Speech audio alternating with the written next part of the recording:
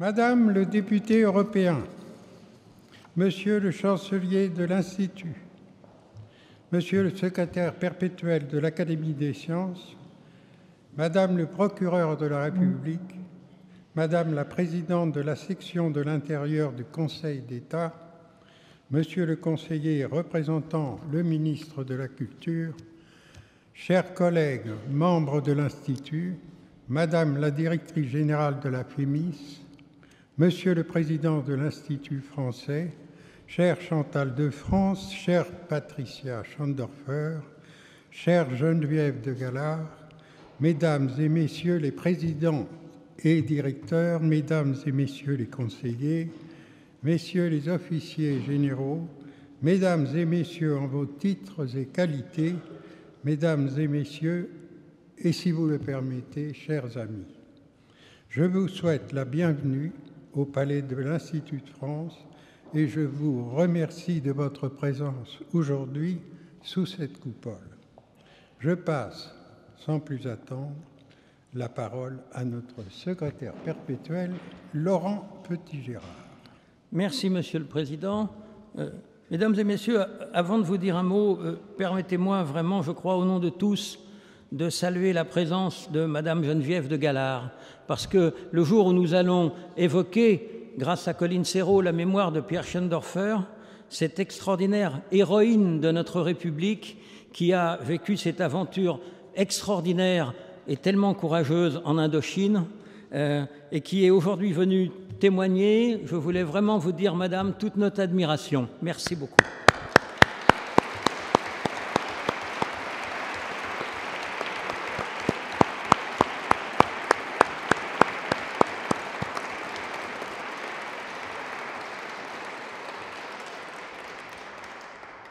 Au cours de cette séance, Madame Colline Serrault, ça m'amuse toujours de dire Madame Colline Serrault, parce que c'est évidemment pour nous l'éternelle Colline, qui a été élue le 25 avril 2018 au fauteuil de notre regretté confrère et ami Pierre Schendorfer, sera officiellement installée comme membre de la section des créations artistiques dans le cinéma et l'audiovisuel de l'Académie des beaux-arts.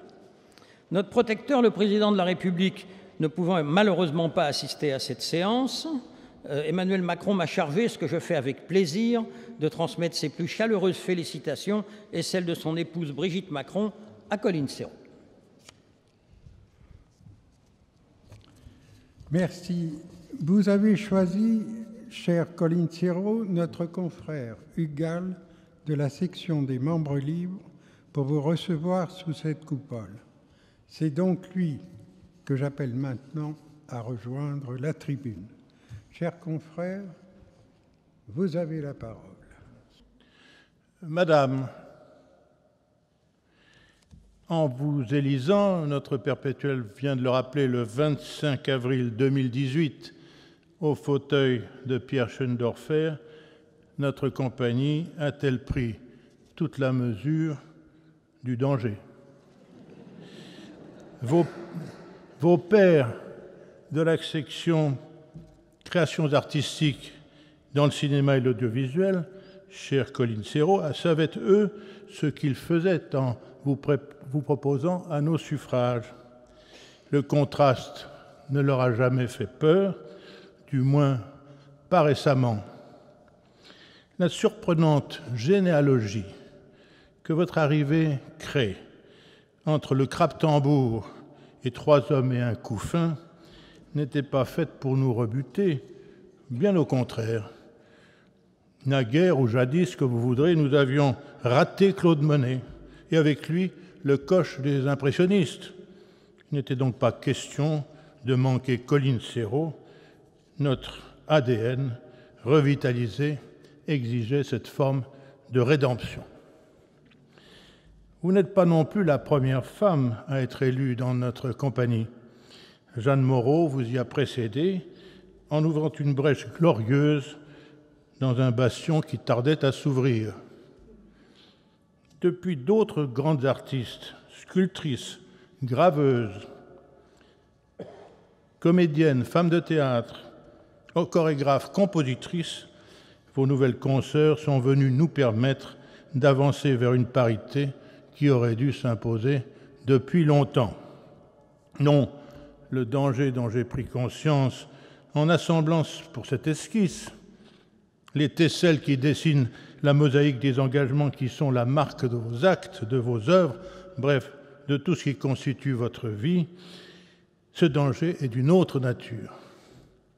C'est qu'avec vous, nous sommes en présence d'une missionnaire, animée de cette force de conviction, de cette flamme, de ce courage enfin, qui font les vrais révolutionnaires, les plus dangereuses sans doute. Vera Zasulich, Rosa Luxembourg, peut-être un peu beaucoup, mais voir. Une manière de Cassandre, en tout cas, de celle qu'on ne croit pas, un peu pitié aussi, mais une pitié dont les oracles, vos pièces, vos films, vos écrits, vos déclarations sont d'une aveuglante clarté. Ils n'exigent ni aruspice, ni exégète, ni que vous vous appliquiez à mâcher sur le trépied de Delphes les branches d'olivier dont vous êtes aujourd'hui revêtus. Vos racines familiales sont l'une des clés de votre œuvre. Elles ont été confortées par votre éducation à Dieu le fit dans l'école de Beauvallon, haut lieu d'expérimentation des pédagogies nouvelles. Cette école était dirigée par trois fées, trois femmes remarquables, Marguerite Soubéran, Catherine Kraft, votre marraine, et Simone Monnier, la sœur de votre mère. Là, vous respirez le plus naturel des protestantismes, rigoureux, ça va sans dire, mais le plus humain aussi, celui de vos ancêtres, parmi lesquels on compte d'innombrables ministres de la religion réformée. Ce gynécée vous marque pour la vie, d'autant que votre père, Jean-Marie Serrault, célèbre pour avoir été le découvreur des grands auteurs de l'après-guerre, Beckett, Brecht, Ionesco, Vinaver, Genet, Aimé Césaire, Kateb Yassine, grand metteur en scène avant-gardiste, ce père que vous adorez, vous avez abandonné votre mère, votre frère, vos frères, votre sœur et vous-même pour dédier toute son énergie, toute son affection et tout son talent à la défense de ses chers auteurs et de vos œuvres, et de ses œuvres, pardon. Je disais pitié. À toute pythonisse, il faut un Dieu. Ce Dieu, votre Apollon, c'est lui qui vous dictera tant de prédictions que vous énoncerez plus tard sur la scène, par l'écriture, en musique, au cinéma, dans, la direction de cœur. Ce Dieu caché, vous l'avez découvert dès l'enfance, ou presque, dans une fréquentation goulue des œuvres de Sigmund Freud, de Grodeck, de Ferenczi, ou dévoriez à l'âge, ou d'autres, j'en suis, lisaient la semaine de Suzette. Cependant que votre mère, Geneviève Serrault, écrivaine, éditrice de Barthes, de Sarraute, de Miller notamment, traductrice de Gombrowicz ou de Brecht, votre mère collaborait aux Lettres Nouvelles avec Maurice Nadeau.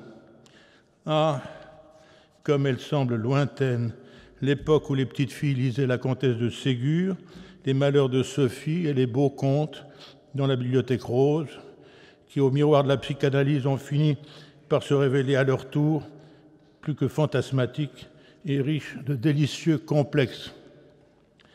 Vous aviez sept ans et déjà votre mère vous emmenait à toutes les générales de théâtre. Rien ne vous passionne plus que le jeu des acteurs, les mises en scène, les lumières, les décors, l'écriture. Le métier s'empare de vous, c'est l'atavisme. Vers 13 ans, vous devenez un rat de cinémathèque. Le champeau, le Champollion, remplace pour vous souvent la salle de classe. Vous lisez un livre par jour, dites-vous. Vous vous plongez dans la philosophie, dans celle des théoriciens marxistes, des sciences humaines, la littérature russe, la Bible, que sais-je encore. Mais où diable sont donc Labiche, Fédot, Sacha Guitry, les chers Flers et Caillavet, et surtout eux, avec leur habit vert? On veut croire pourtant que Molière n'est pas absent de votre univers de petite fille surdouée, et puisque vous entrerez un jour, après un brillant passage rue Blanche à la Comédie Française en qualité de stagiaire. Vous n'y resterez pas, mais vous aurez fait un, un passage remarqué. Ni jeune première, ni vraiment comique, votre destin semble alors hésiter. Heureusement, mai 68 viendra trancher en vous distribuant dans un rôle digne de vous, responsable du comité d'action au centre de la rue Blanche, et puisque vous êtes inscrit aussi au Conservatoire national de musique de la rue de Madrid, vous cristalliserez en vous tout ce qu'il y a de ferment révolutionnaire dans ces deux vénérables écoles. Car, j'allais l'oublier, vous êtes, chère Colline Serrault, musicienne, organiste, élève de Jean Langlais à la Scola Cantorum. Vous êtes pianiste depuis l'enfance, guitariste classique, aussi élève de Norbert Dufourc en classe d'histoire de la musique. Est-ce lui, ce pape de la musicologie, qui vous révèle le génie de Pierre de Géter, dont la superbe mélodie a immortalisé l'international, l'hymne que nous chantons tous d'Eugène Potier, on peut en douter. Jamais la musique ne vous quittera. De Géter sans doute, mais surtout, toujours et partout, Jean-Sébastien Bach. Pas de journée dans votre vie sans un choral, sans une fugue du grand cantor, joué le matin à votre piano, à jeun, avant ou après votre café, qui lui inspira une célèbre cantate. La musique, votre seconde langue, peut-être même la première, vous en ferez un bien bel usage. Mesdames, Messieurs, mes chers consoeurs, mes chers confrères, la voici donc sur les barricades avec l'international à tue-tête et les variations Goldberg dans le cœur. Dangereuse, vous dis-je. Mais à l'Odéon, au quartier latin, c'est un feu follet rouquin, le vibrionnant Daniel Cohn-Bendit, qui vous vole la vedette. Ni Victor Hugo, ni Delacroix, ni Robert Capa, ni Douaneau, encore moins le journal télévisé, ne sont là pour vous immortaliser, vous. Décidément, c'est bien ce monde d'hommes qu'il vous faut renverser plus tard. Vous prendrez votre revanche, on le verra et comment. D'ailleurs, la seule tirade de Maria Pacôme, la mère de famille, dans la crise, votre film devenu culte, comme on ne devrait pas dire ici, sera en soi une vengeance à large spectre. Pourtant, la photographie était déjà devenue l'une de vos passions. Le précieux Nikon à trois objectifs, seul cadeau de votre père, n'avait pas chômé pendant ces chaudes journées. L'histoire ne dit pas le nombre d'instantanés que vous avez pris de ces événements, non de vous-même, mais de vos camarades engagés dans la lutte finale, bien sûr. Vous continuez à prendre des centaines de clichés, dont certains retravaillés par le peintre, pardon, par la peintre qui s'est révélée en vous, sont, comme vous les nommez, des photopeintures poétiques et tragiques. Voilà un nouveau panneau sur l'étonnante iconostase de vos foisantes créations. Mais c'est le théâtre qui forme l'axe de votre vie, celui autour duquel tout s'ordonne. Vos années à l'école de cirque d'Annie Fratellini font de la comédienne que vous êtes une trapéziste aussi, oui, une virtuose du trapèze en grand ballon. Vous y faites preuve d'un courage d'un goût du risque, d'une maîtrise du rythme, d'un contrôle du souffle tel que vos spectateurs sidérés voudraient pouvoir les partager. C'est pour vous une école de vie. Je lève les yeux. Je ne vois pas que l'on ait équipé aujourd'hui notre auguste coupole des agrès indispensables à une démonstration de votre part. Dommage. On l'a compris, Rien de ce qui est spectacle ne vous est étranger.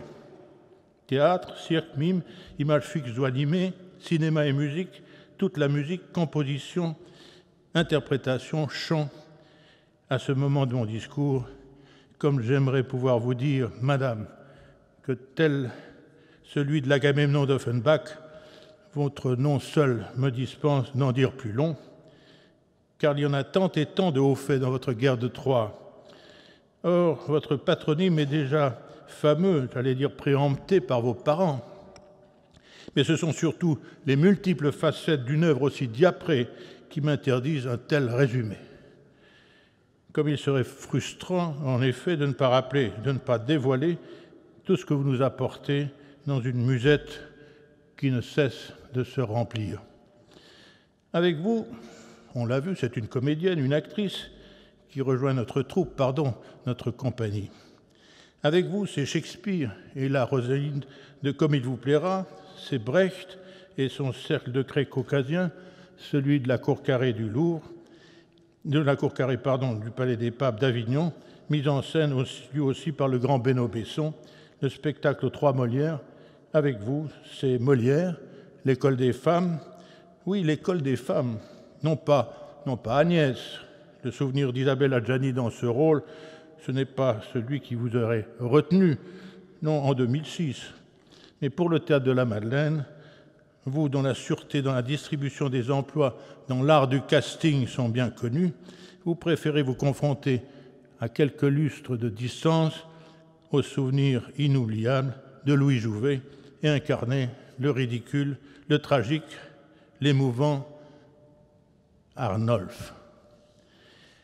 Le souvenir de votre miraculeuse mise en scène du Barbier de Séville à l'Opéra Bassi en 2002 et de son Bartolo aveuglé stupide, méchant et pitoyable, vous aura sans doute suivi quatre ans plus tard, le souvenir aussi du triomphe de votre, j'allais dire de notre Rosine, où a explosé la carrière mondiale désormais de Joyce D. Donato. Mais ne brûlons pas les étapes, si toutefois l'on peut parler d'étapes en ce qui vous concerne, Madame c'est un grand polyptyque dont les panneaux proches ou éloignés s'ordonnent tout autour du centre que le regard doit embrasser tout entier. En son cœur rayonne votre agneau mystique, celui de votre mission rédemptrice, de votre combat pour l'homme, pour la femme, de votre lutte contre toute manifestation du patriarcat sous toutes ses formes d'oppression. Cette mission dont vous vous êtes investi et qui éclaire votre œuvre, c'est le combat contre l'injustice, pour la liberté, en faveur de toutes les libérations, de toutes les résistances, pour la nature, pour l'environnement. Car vous n'avez pas attendu la création d'un secrétariat d'État à la condition féminine par Valéry Giscard d'Estaing en 1974, pas davantage que celle d'un ministère de la protection de la nature ou de l'environnement par Georges Pompidou en 1969. Ces idéaux vous habitent depuis vos années d'apprentissage, on l'a vu dans la Drôme, ce sont ceux de vos ancêtres protestants, les Balois, les Bernoulli, banquiers et mathématiciens, ceux aussi de vos parents, séparés, mais porteurs tous deux de cet idéal, la révolution par le théâtre, mais surtout par les lettres. Tout s'ordonne alors de la manière la plus cohérente dans votre vie et dans vos actes. Le théâtre, bien sûr, comédienne, on l'a vu, mais déjà auteur. Vous travaillez d'abord avec Romain Bouteille, vous écrivez, vous signez avec Coluche son premier spectacle, Thérèse est triste. Quel début Et puis le cinéma est là, Antéportas, avec en 1971 votre premier scénario pour On s'est trompé d'histoire d'amour, un long métrage réalisé par Jean-Louis Bertucelli. En 1975, c'est votre premier film, vous êtes la réalisatrice de Mais qu'est-ce qu'elles veulent? Le thème en est la condition féminine. Le film reste en salle plus d'une année. Ensuite, tout s'enchaîne presque naturellement, non sans les chaos que connaît toute aventure cinématographique. Ces aléas, vous les surmontez, ce sont successivement Pourquoi pas? Votre deuxième film en 1977, puis en 80, Qu'est-ce qu'on attend pour être heureux? Une satire du monde de la publicité. Jusqu'à 1987, l'année du triomphe de trois hommes et un couffin, que nul n'a oublié, ni vos producteurs, ni vos distributeurs, ni bien sûr vos spectateurs, enchantés par cette comédie fable si pertinente, si enlevée. Vos 12 millions d'entrées sont une réponse cinglante à ceux de vos censeurs pisse-vinaigre qui pense sans doute, comme le metteur en scène de Tempête, votre prochain film, je le cite, On n'est pas là pour amuser la galerie, si je commence à faire rire les gens, je perds mes subventions. La guerre inexpiable entre théâtre public et théâtre privé se trouve résumée en une phrase. L'aventure de Trois hommes et un couffin sera saluée par trois Césars, meilleur film, meilleur scénario, meilleur second rôle pour Michel Boujna, et par des nominations aux Oscars, aux Golden Globes comme meilleur film étranger. Enfin, Disney en a produit un remake, Three Men and a Baby, dont vous réalisez le scénario. Le film remporte aux États-Unis d'Amérique un succès équivalent au film français. Dès lors, vous ne vous arrêtez plus. Vous réalisez des films dont les scénarios sont tous de vous. Il faut citer Romuald et Juliette et La crise, César du meilleur scénario en 1992, la scène de la mer, celle que Maria Pacôme a marquée pour toujours de son grand talent, est un manifeste. Elle est devenue un classique. Cet hymne à la libération de la mère de famille est vu, revu chaque jour par des milliers de cliqueuses ou de likers, vengés ou ravis. Mais sans doute sont-ils encore plus nombreux à se reconnaître dans la scène dite du rétroviseur. Une scène devenue mythique, elle aussi, ou comme on dit aujourd'hui, virale.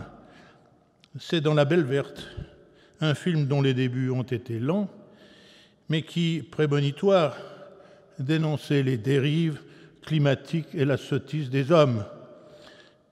Admirable, admirable ce dialogue hurlé entre Francis Perrin et Vincent Lindon. Oui, admirable comme ce mot interdit ici, mais que je ne résiste pas à citer, puisqu'il est de vous, connard Comme ce mot claque dans la bouche de Perrin, c'est sans doute, madame, grâce à vous, pour lui, ce soir, une vraie première sous cette auguste coupole. Votre filmographie ne se résume pas à ces scènes d'anthologie avec Chaos en, en 2001, puis Saint-Jacques la Mecque en 2005, mais aussi avec Solution pour un désordre global en 2010, Tout est permis en 2012 ou encore Couleur locale en 2014, se poursuit votre croisade pour la femme, pour l'environnement et contre les méfaits du patriarcat. Enfin, en 2015, à l'occasion de son entrée au Panthéon, vous rendez hommage au grand résistant Pierre Brossolette par un film portrait qui ne relève pas, lui, de votre imaginaire, un document bouleversant diffusé le jour même. C'est votre tribut à la résistance qui a été pour les vôtres, dans la Drôme notamment, à un engagement total de tous les instants. Ce film, vous l'avez écrit avec Samuel Tazinage, qui couvre par ce pseudonyme, son patronyme, la Bible un auteur que vous connaissez bien, puisqu'il est avec Madeleine et Nathanaël, Nathalie Besson, l'un de vos trois enfants, vous les aimez, ils sont tous les trois doués comme vous les avez enfantés, leurs scripts ne sont-ils pas un peu de vous? En ai-je fini? Non, pas vraiment. L'auteur qui ne se jamais en vous a mis en scène, écrit, joué plusieurs pièces aux succès français et mondiaux.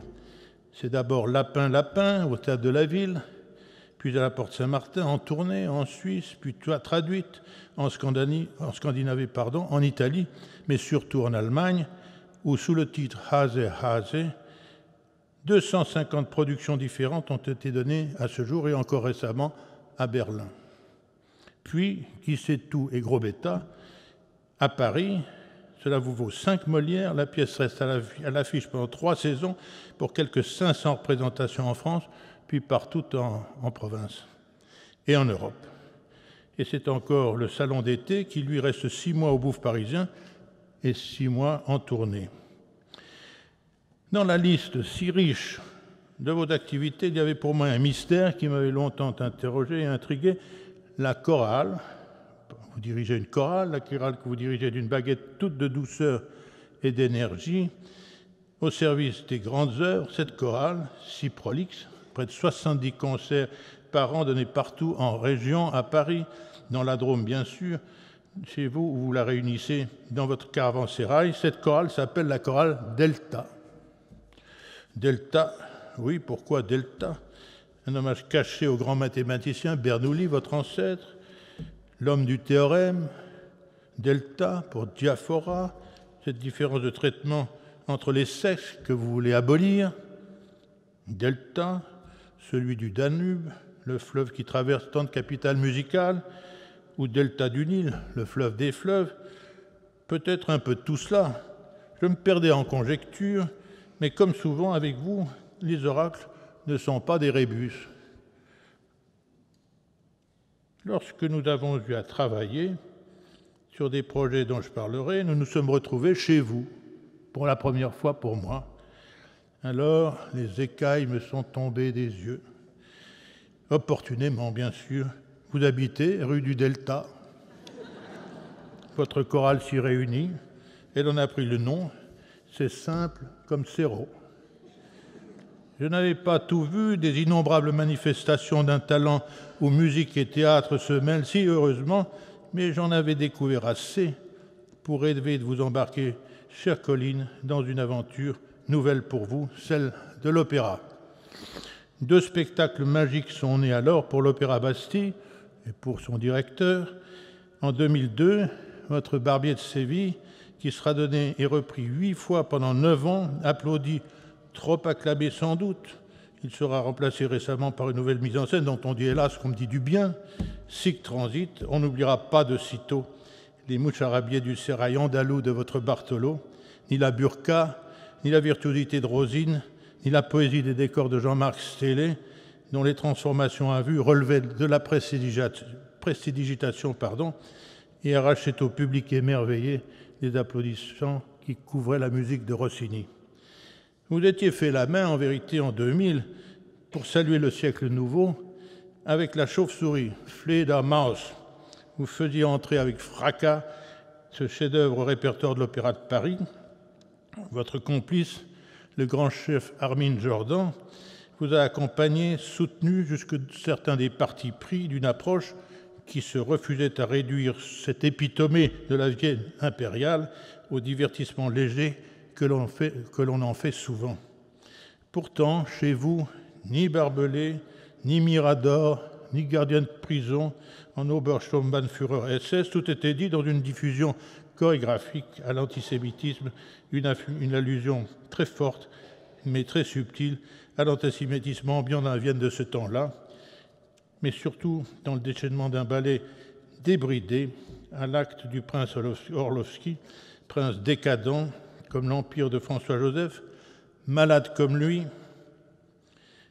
sous perfusion comme lui, cherchant à tromper son ennui, non par les usuelles interventions de stars du chant ou de virtuoses de la musique, conviés à la fête, mais par l'irruption d'une troupe de rappeurs et de mimes dont vous m'aviez facilement convaincu de les engager.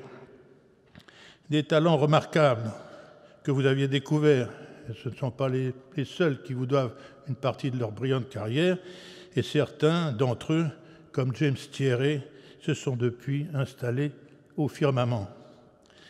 Cette inclusion surprise de rappeurs d'une loufoquerie déjantée, ce duo clownesque une vignette chaplinesque, je ne résiste pas à les faire revivre ici pour vous. Mes chers consoeurs, mes chers confrères, j'y vois une manifestation puissante et une manière de conjurer par le rire, le rire dont vous savez, chère Colline, être souvent généreuse, les craintes que votre arrivée parmi nous ont pu susciter chez, chez certains. Castigat ridendo, c'est aussi votre méthode. Entrons donc, si vous le voulez bien, chez le prince Orlovski.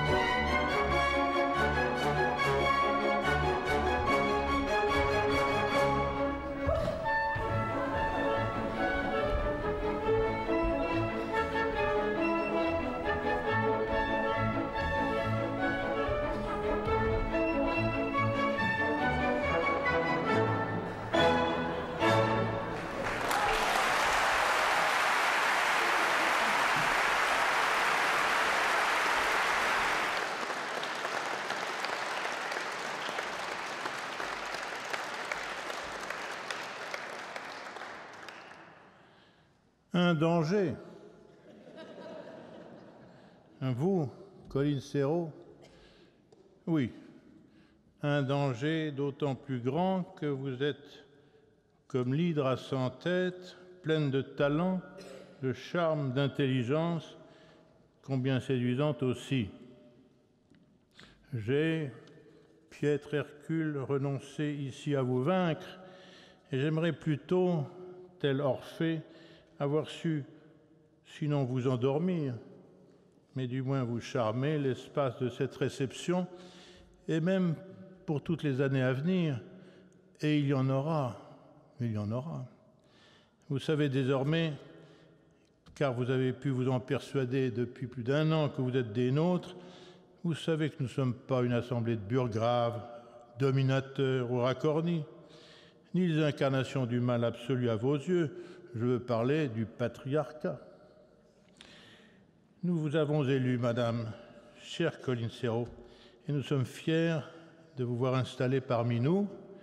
Soyez-y heureuse, immortelle que vous êtes désormais, et surtout, surtout, oui, surtout, continuez là votre lutte, car elle est aussi la nôtre, ici dans cet éther où vous nous rejoignez.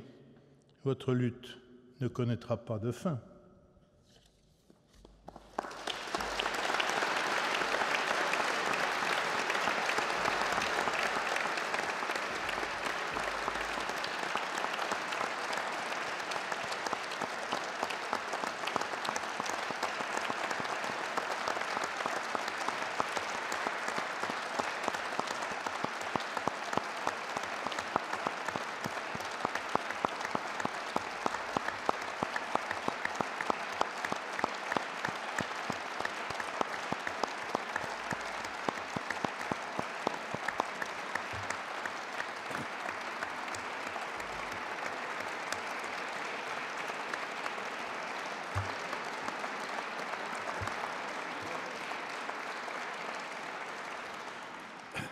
Merci, chers confrères.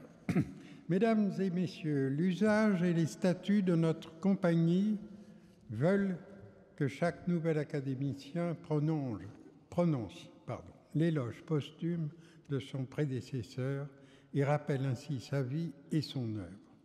Cher Colin Serrault, je vous invite maintenant à rejoindre la tribune pour rendre hommage à notre regretté confrère Pierre Schandorfer. Vous avez la parole. Merci Hugues pour ce discours euh, touchant et euh, quelquefois en, regardant en arrière, je, je suis fatiguée pour moi-même. mais je me suis beaucoup amusée dans ma vie en fait. Alors, mesdames et messieurs, euh, je vous remercie d'être venus ici euh, aujourd'hui et, surtout en ces temps de galère de transport. Ça, c'était pas écrit dans le discours normalement. Mais vraiment, je vous remercie parce que je sais que ça a été compliqué pour beaucoup d'entre vous et c'est extrêmement gentil à vous d'être venus ici.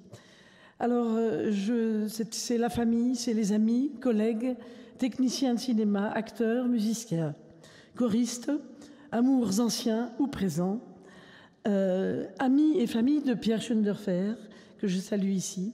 Je suis très heureuse de vous sentir près de moi dans cette cérémonie qui va me rattacher à une compagnie dont je mesure avec gratitude, depuis plus d'un an que je la fréquente, la bienveillance à mon égard, la haute qualité artistique, et dont je me réjouis chaque mercredi de la retrouver pour discuter de nos métiers, euh, divers en apparence, mais semblables dans leur essence, métiers auxquels nous avons consacré nos vies et que les académiciens défendent avec passion et générosité. Et j'ajoute, ce qui n'est pas dans le discours, que tout à l'heure, euh, avant d'arriver ici dans la bibliothèque, on rigolait, mais ils ont un humour vraiment formidable.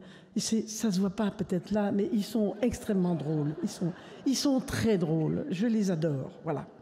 Alors je vais maintenant vous parler de celui au fauteuil duquel je succède, Pierre Schoenderfer.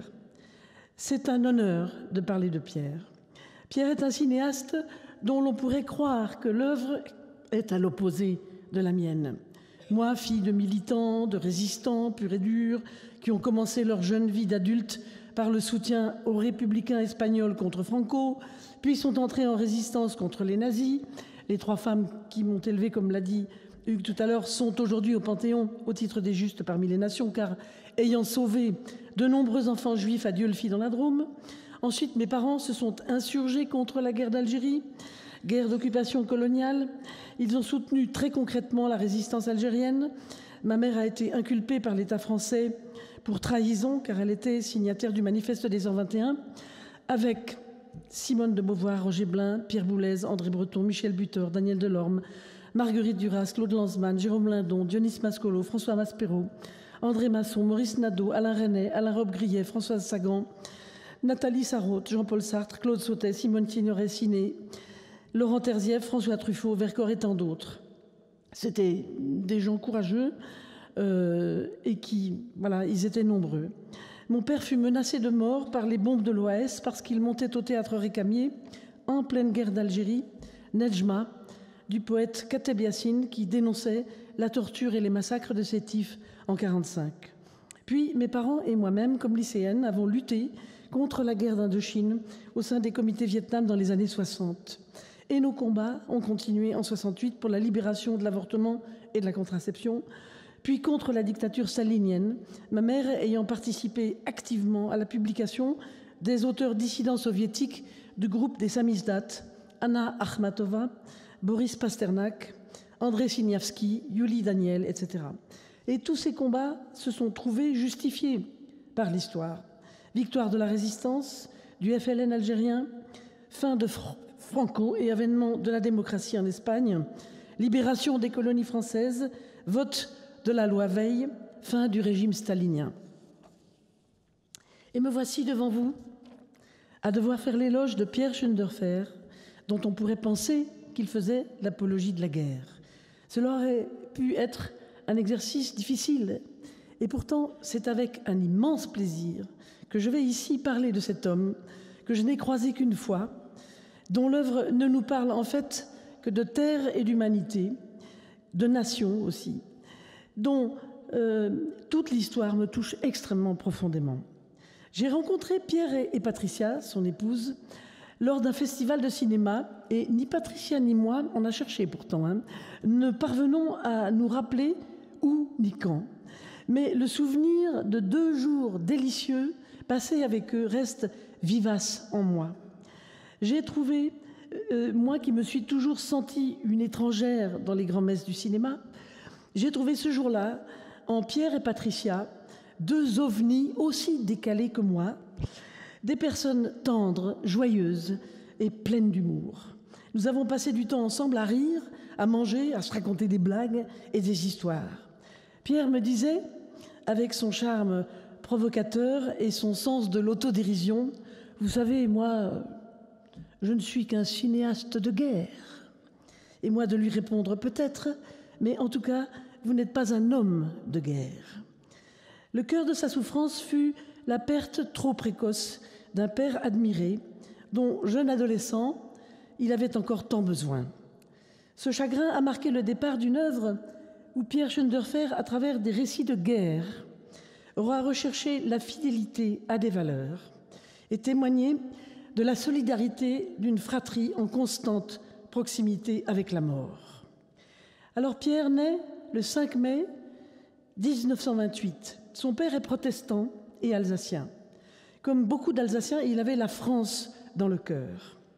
Il a une enfance itinérante au gré des postes de son père ingénieur centralien. Il est le quatrième enfant d'une fratrie de cinq. Il dit Je suis d'une génération née après la Première Guerre mondiale. Le père de ma mère, qui avait fait la guerre en 1870, s'était réengagé volontaire en 1914 pour avoir sa revanche sur les Allemands. Et il est mort en 17 sur le chemin des dames. Ma mère est devenue pupille de la nation. Mon père, quant à lui, est revenu vivant de la guerre de 14, mais très malade, car il avait été gazé. Pendant la Seconde Guerre mondiale, nous avons subi les bombardements à Annecy. Mon père souffrait, souffrait beaucoup des poumons. En effet, son père meurt des suites de la guerre, les poumons détruits, dans de grandes souffrances qu'il cache à ses enfants.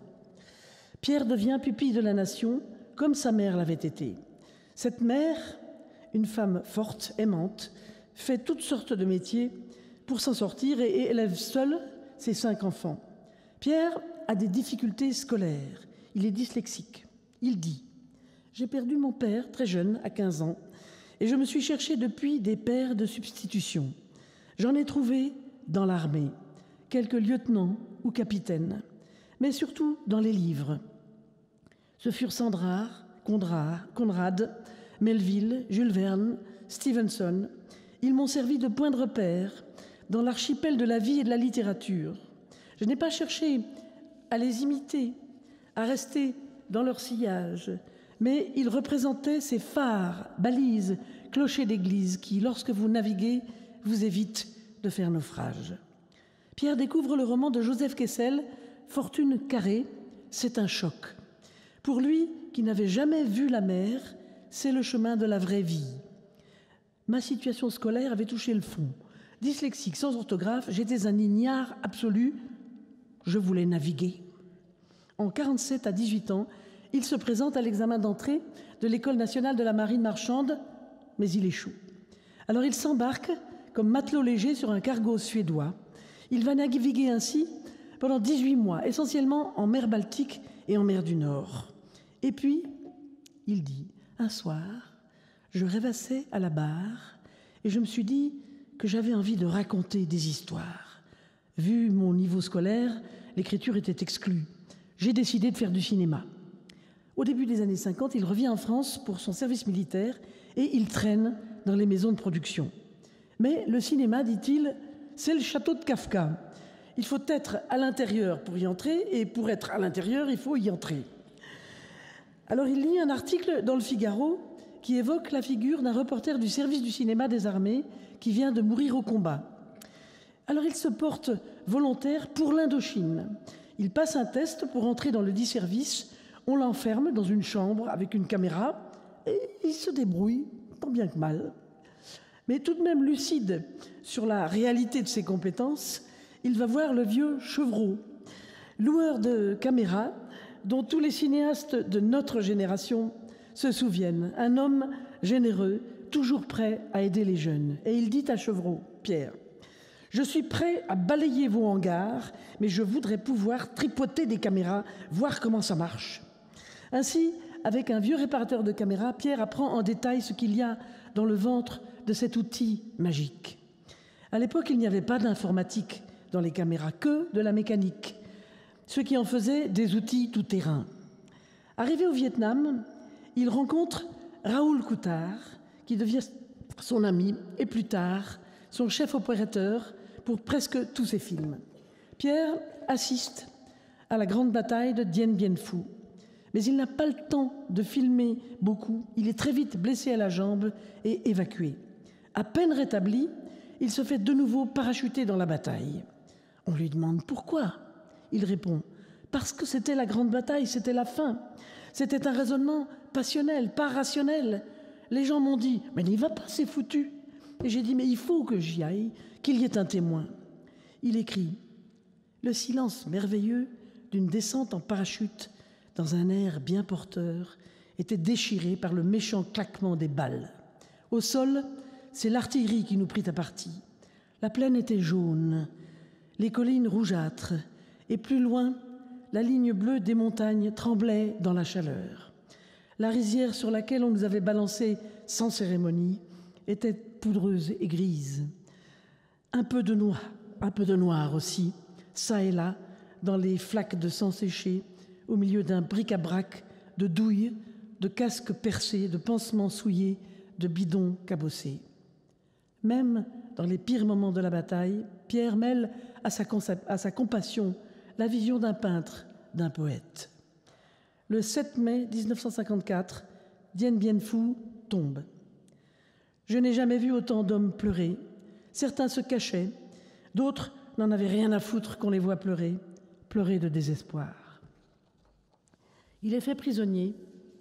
Il reste trois mois et vingt jours en captivité, avec de terribles séances d'autocritique et un seul bol de riz par jour. Plus des deux tiers des prisonniers de Dien Bien Phu n'en sont pas revenus. Pierre survit à l'épreuve de cette dure captivité. Il dit La captivité, c'est l'envers de l'aventure. Ce n'est pas exaltant comme une charge de cavalerie. C'est une descente en soi-même, et j'ai encore des tas de choses à puiser là-dedans. Désormais, l'Indochine ne le quitte plus. Pierre Schoenderfer a vécu à Dien Bien Phu un moment fondateur de son histoire personnelle. C'est là qu'il est devenu adulte, disait-il. De cette période, de ceux qu'il a vus mourir et envers lesquels il se sentait redevable, de sa propre mort qu'il a vue si proche à plusieurs reprises en captivité, Schoenderfer a toujours voulu rendre compte. Il devient photographe de presse, voyage beaucoup et au Maroc, il rencontre sa future épouse, Patricia Chauvel, fille de Jean Chauvel, ambassadeur à Londres, sœur de Jean-François Chauvel, le grand reporter des années 60, lui-même père de Patrick, actuel photoreporter. Pierre et Patricia, que l'on appelait Pat, auront trois enfants, Frédéric, réalisateur, Ludovic, acteur et monteur, et Amélie, auteur. Pat dit de lui Pierre, c'était un innocent. Il a tout attendu de la vie, il était très très joyeux. Mais parfois, il faisait des cauchemars, il se mettait à hurler, tout le monde se réveillait, il disait Je suis happé par le fond.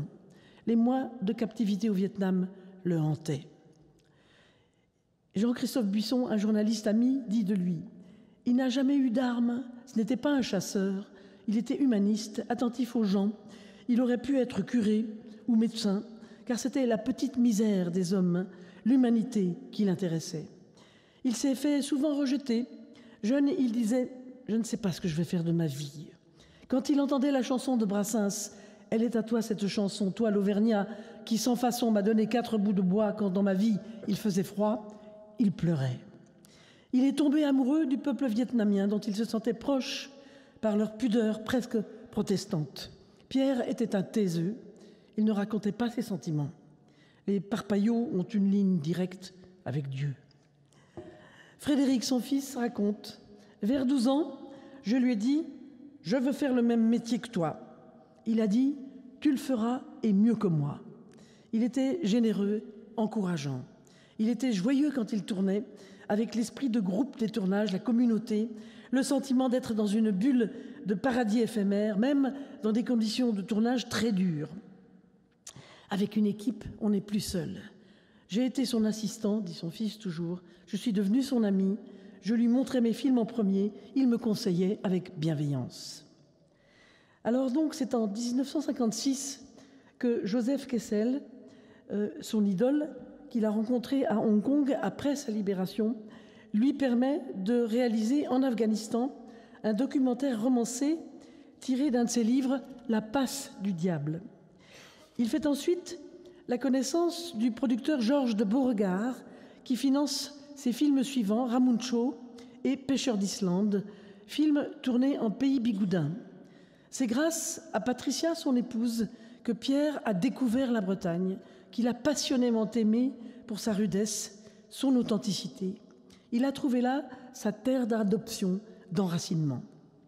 En 63, il publie son premier roman, la 317e section, inspiré de l'expérience indochinoise qui entra toute son œuvre. Il tire un film de ce livre qui sort en 65.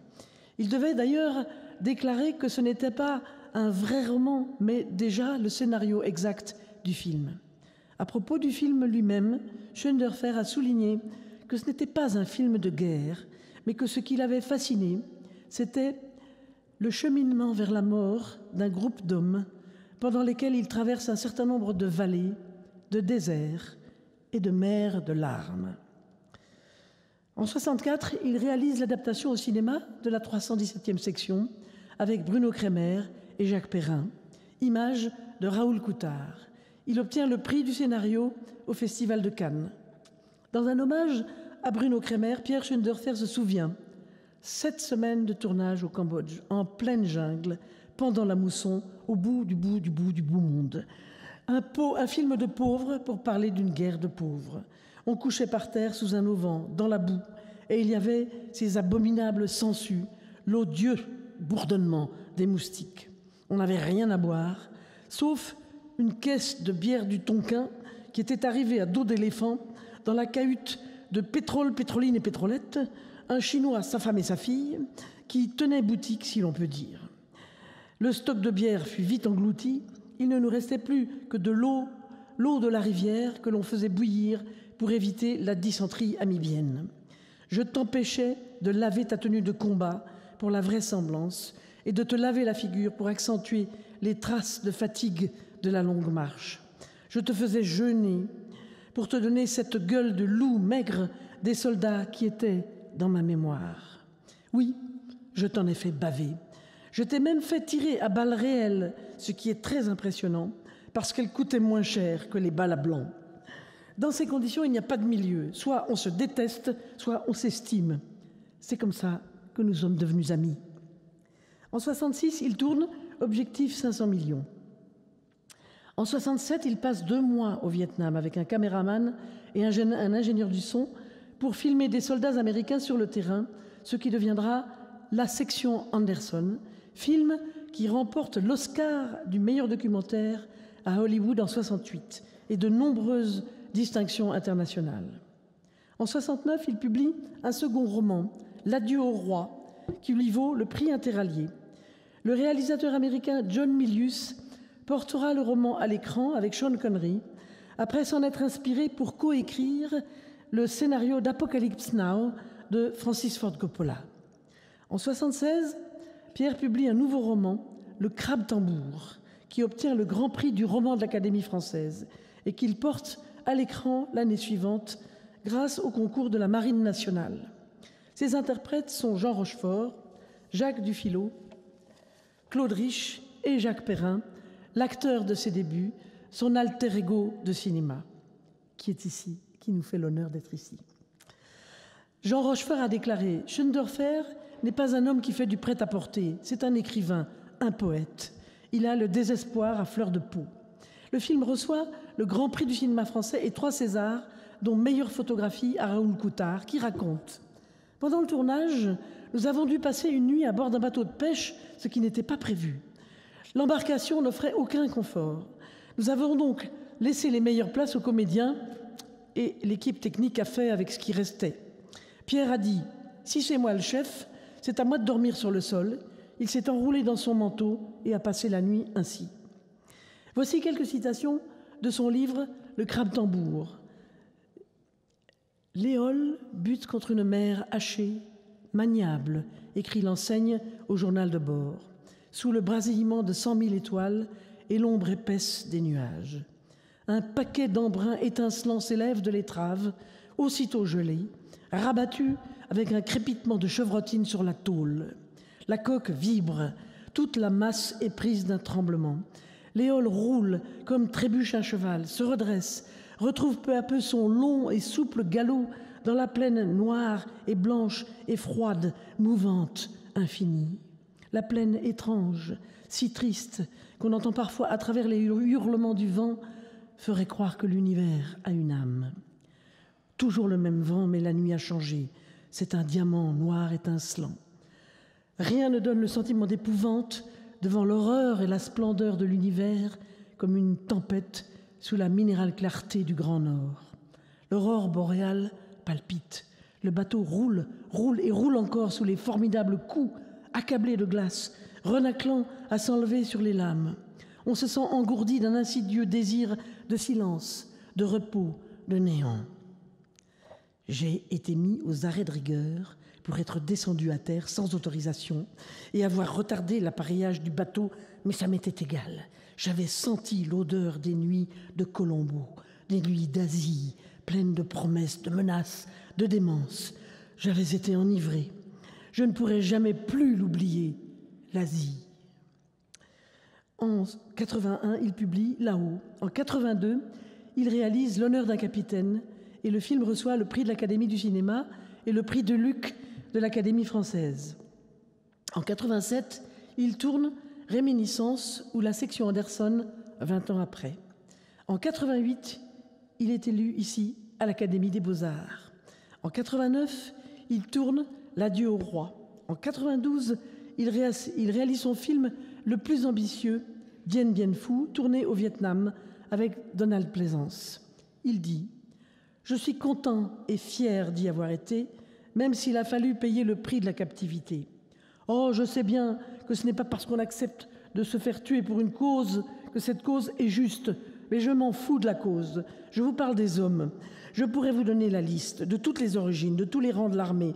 Il y en a, je ne sais pas même pas leur nom. Je ne les ai vus qu'une fois, mais je sens encore leurs doigts sur mon cœur. Un seul type, bien, vraiment bien. Et ça change tout. Un seul. Là-haut, il y en avait plein. En 2003, il publie L'aile du papillon. En 2004, il tourne son dernier film dans le sud-est, dans le sud Finistère, pardon, film Testament, Là-haut, un roi au-dessus des nuages, qui raconte les, ces épopées humaines, les guerres coloniales perdues et les soldats qui les ont faites. Voici quelques extraits de son livre L'adieu au roi. J'ai vraiment voulu beaucoup citer ces, ces extraits de livres parce que c'est un très très grand écrivain aussi. Je ne veux pas vous raconter ma guerre comme mon père m'a raconté la sienne. Toutes ces guerres sont toujours tristement les mêmes. On a piétiné dans la boue, on a longtemps attendu, on a tiré, ils sont morts. C'est ça la guerre, quand on en revient.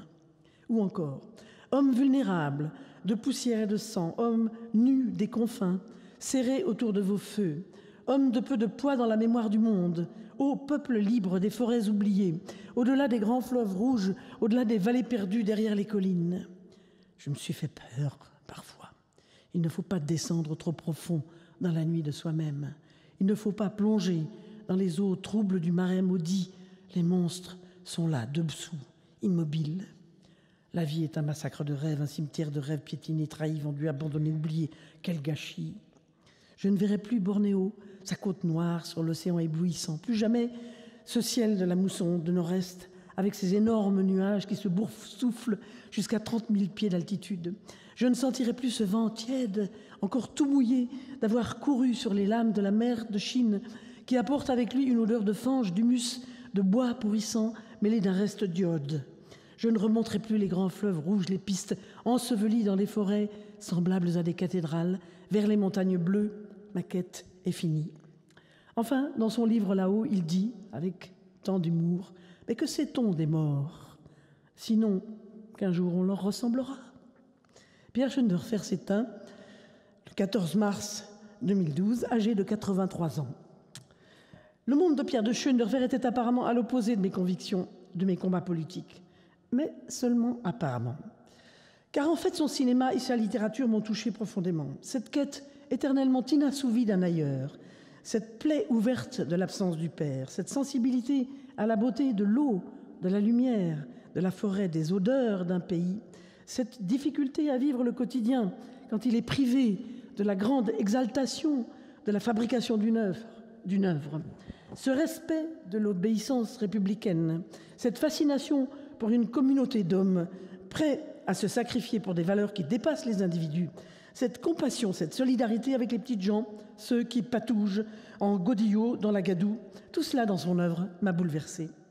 Je n'ai pu aujourd'hui qu'effleurer la richesse d'une création et d'une vie dont son épouse et ses enfants ici présents auraient encore tant à témoigner.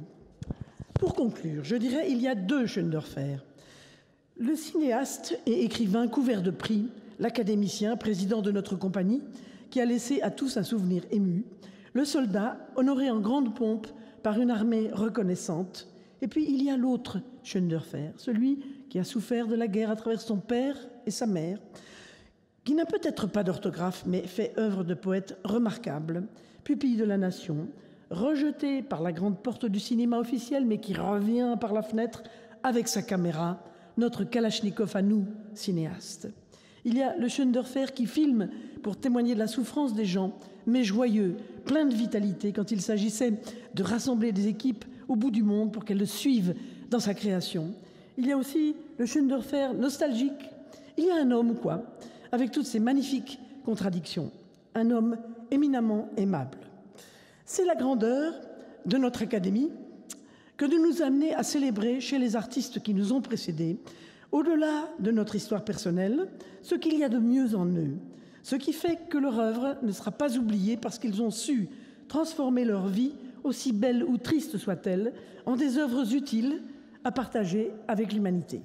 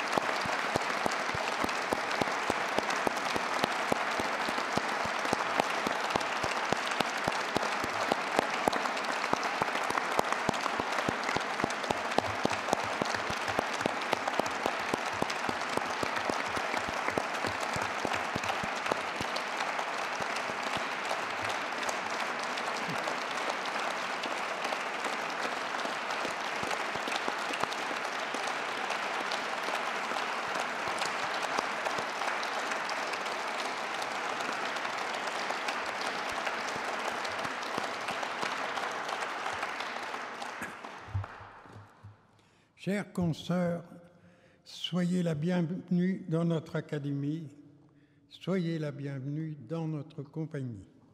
Merci à vous, mesdames et messieurs, d'avoir bien voulu assister à cette séance d'installation. Je souhaite également dire à mes confrères combien j'ai été à titre personnel heureux et honoré de présider les séances de notre Académie tout au long de cette année 2019 qui s'achève. Je déclare maintenant officiellement que la séance est levée, mais je vous invite néanmoins à garder vos places quelques minutes encore et je passe la parole à notre secrétaire perpétuel. Alors, euh, chère Colline, comme vous vous en doutez, mesdames et messieurs, Colline ne peut rien faire comme tout le monde. Normalement, il y a une épée et un comité de l'épée, réunis pour les amis qui veulent offrir l'épée à la nouvelle académicienne ou au nouvel académicien. Il y a eu des variantes. Notre très cher consoeur qui a présidé cette compagnie, Edith Canacchesi, a préféré se faire offrir une magnifique broche. Il y a eu des épées éblouissantes, il y a même eu des épées en bois pour une femme de théâtre, bien sûr, comme Muriel Mayette-Holz. Mais Colline a trouvé une nouvelle chose, c'est de se faire offrir une broche qu'elle a déjà. Plus exactement, de se la faire remettre, parce que c'est une broche de famille dont euh, elle va vous parler. Euh, finalement, c'est peut-être une solution sage, parce que nous avons, quant à nous, une épée que nous mettons à notre droite avant de passer l'arme à gauche, ce qui finalement est un peu discutable sur la notion d'immortalité, vous le reconnaîtrez. Mais après tout, l'immortalité, que voulez-vous, ayant déjà, depuis que j'ai rejoint cette noble compagnie, euh, croisé le chemin de 13 ministres de la Culture, je me dis que finalement, les académiciens ont tout de même euh, une durée de vie professionnelle importante. Voilà. Alors, euh, je pense que vous allez nous expliquer les raisons de ce choix. Et je sais aussi que nous sommes d'abord très heureux que vous ayez rejoint notre compagnie, mais vous avez fait appel à un musicien pour vous remettre cette broche que vous aviez déjà, je vous demande de bien suivre. Hein, et c'est donc notre confrère Régis Campo, et c'est un bon choix, merveilleux musicien, qui maintenant va vous remettre votre broche. Colline, nous t'aimons tellement. En fait, j'ai compris pourquoi tu n'as pas voulu d'épée d'académicien. Une, épée, c'est pointu, ça peut percer, ça peut trouer un cœur. Et tu as choisi en fait une broche. Or, dans cette broche, il y a un, et tu vas nous l'expliquer un peu mieux que moi, bien sûr, un cupidon. Et comme vous savez, le cupidon a son arc avec des petites flèches. Donc en fait, c'est une nouvelle arme, plus intéressante, puisqu'en fait, ce sont des petites flèches qui touche le cœur. Et je dois dire que tu nous as touché le cœur immortellement.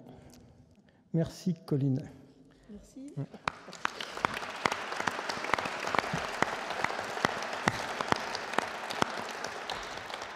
Alors, je suis vraiment très honoré que tu m'aies choisi pour que je te remette cette, cette broche.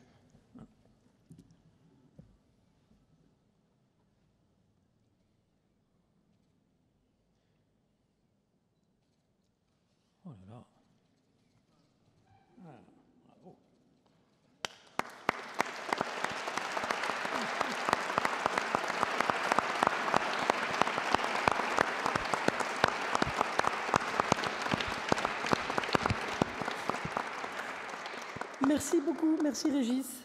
Euh, juste un tout petit mot. Cette broche m'a été euh, transmise par quatre générations de femmes. C'est une broche vraiment très ancienne. Et euh, comme beaucoup de gens, j'ai subi un certain nombre de cambriolages, un nombre assez important hein, de, cambriolages. Et, figurez-vous que cette broche a toujours su échapper aux voleurs. Tout le reste, non. Hein. Mais la broche, oui. Elle s'est débrouillée pour se rendre invisible, rusée avec la prédation elle est restée près de moi comme pour me dire Tes aïeuls te protègent. Il n'est pas encore né celui qui te séparera de leur magnifique transmission.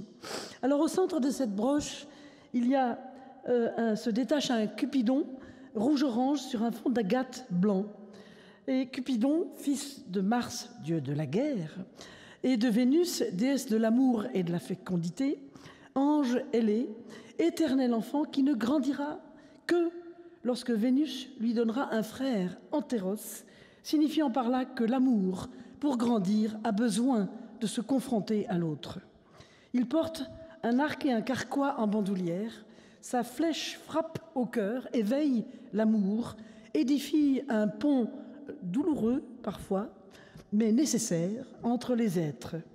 Il brandit un flambeau, symbole de la liberté de la création et de la création, et qui éclaire le monde.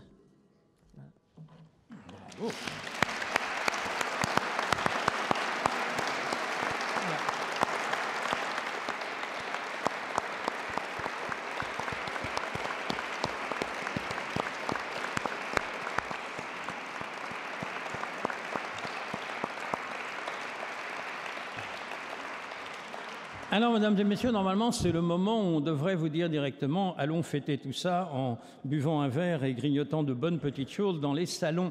Eh bien, non, pas, tout de suite, presque tout de suite. Mais d'abord, parce que je ne résiste pas quand on voit le, les incroyables succès, aussi bien au théâtre et au cinéma comme auteur, metteur en scène, mais comme auteur, euh, qu'a eu Colin Serrault, qui explique certainement le regard plein de tendresse envers elle que je vois euh, dans les yeux de Pascal Regard, le directeur général de la Société des auteurs et compositeurs dramatiques, et ça se comprend. Je voulais quand même vous dire que lorsqu'on voit un film, ben on voit un film terminé, monté, et que notamment dans des films qui sont des comédies, euh, malgré tout, il y a une difficulté. Et j'ai vu sur des plateaux beaucoup de metteurs en scène, euh, voyant leur tournée, les budgets, la lumière, commencer à s'énerver.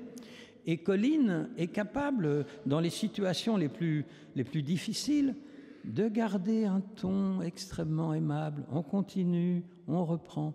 Et alors, je ne résiste pas, avant que nous allions fêter notre ami, de vous proposer de regarder ce, ce court extrait. Donc, euh, ce n'est plus le film, c'est le moment du tournage de 18 ans après, c'est-à-dire la suite de Trois hommes et un couffin, avec ces trois acteurs extraordinaires, euh, et de voir comment tout d'un coup un homme aussi entraîné, habitué, extraordinaire euh, acteur que André Dusselier commence à savonner sur un simple verbe, et là, eh bien, voilà ce que ça donne. Tu sais quoi, Michel? Ta prochaine petite amie, tu sais ce que je vais lui faire comme cadeau? Un jour, elle va rentrer chez elle. Un jour, vous aurez un gentil petit rendez-vous d'amoureux, tranquille. Et paf, quelqu'un sonnera chez elle. On va prendre le même endroit. C'est vachement bien. Jusque-là, c'était parfait, mes amis. Tu sais quoi, Michel? Ta prochaine petite amie, tu sais ce que je vais lui faire comme cadeau? Un jour, elle va rentrer chez elle. Un jour, vous aurez un bon petit rendez-vous d'amoureux, tranquille. Et paf, il y aura quelqu'un qui sonnera chez elle. Et tu sais qui ce sera? Non. Ce sera un gentil livreur. Et tu sais ce qu'il lui livrera à ta copine? Non, je sais pas. Il lui livrera une paire de béquilles et dix paquets de maxi-couches pour des vieillards incontinents. Il livrera. Il lui livrera parce caméra, ça marche très bien. Il lui livrera, il lui livrera, Il livrera. il lui livrera. Il lui livrera, Ouais. il lui livrera une paire de béquilles et dix paquets de maxi-couches pour les vieillards incontinents. Une livraison à ton nom. Ce serait chouette comme cadeau, ça, non? Qu'est-ce qu'il a? Pourquoi il est agressif comme ça avec moi? Oui, pourquoi t'es agressif comme ça avec lui? Je sais pas, mais en tout cas, au lieu d'aller se auberge. non, non, non, pourquoi il est avec toi? Oui, bien sûr, bien sûr. Alors, on reprend. Oui. Alors, ce sera un gentil livreur. Tu sais ce qu'il lui livrera ta copine? Ce sera un gentil livreur. Parti. Ce sera un gentil livreur. Et tu sais ce qu'il lui livrera ta copine? Oui. Sera un gentil livreur. Ce sera un gentil livreur. Et tu sais ce qu'il lui livrera à ta copine? Non, je sais pas. Il lui livrera une paire de béquilles et dix paquets de maxi-couches pour les vieillards incontinents. Une livraison à ton nom. Attends, je reprends. Non, je sais.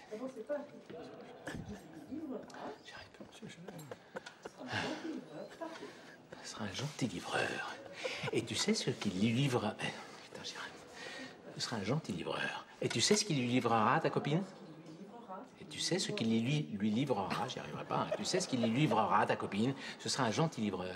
Et tu sais ce qu'il lui livrera à ta copine? Non. Non, attends, je reprends. Ce sera un gentil livreur. Euh, euh, attends, je vais reprendre petit peu plus haut. Un jour, tu sais quoi, Michel? Ta prochaine petite amie, tu sais ce que je vais lui faire comme cadeau? Non, je sais pas. il, il- il lui livrera. Il y aura quelqu'un, tu sais qui ce sera? Ce sera un gentil livreur. Et tu sais qui Tu sais ce quoi, Michel? Sera Tu sais quoi, Michel? Ta prochaine petite amie, tu sais ce que je vais lui faire comme cadeau? Un jour, elle va rentrer chez elle. Un jour où vous aurez un bon petit rendez-vous d'amoureux, tranquille, et paf, il y aura quelqu'un qui sonnera chez elle. Et tu sais qui ce sera? Non. Ce sera un gentil livreur. Excuse-moi. C'est nerveux. Ok. Vas-y. Ça sera un livreur. Et tu sais qui le livrera? Non, mon cœur, mon cœur, c'est qui lui livrera? Oui, bien sûr, sûr, on y va. Et tu sais qui le livrera? Bon, on commence demain matin. Journée terminée. 35 prises plus tard, le même jour. Ouais, mais moi, ne décourage pas. On a perdu 9 kilos. Et qui nous demande du suite. Qu'il lui livrera. Colline fait pour ça. La la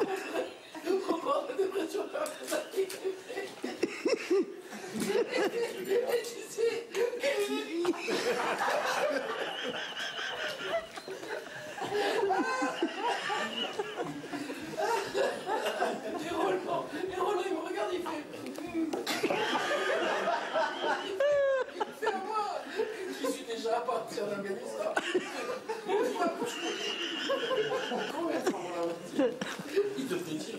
Oui, moi je vais lui livrer. Il va lui livrer. Il va lui livrer.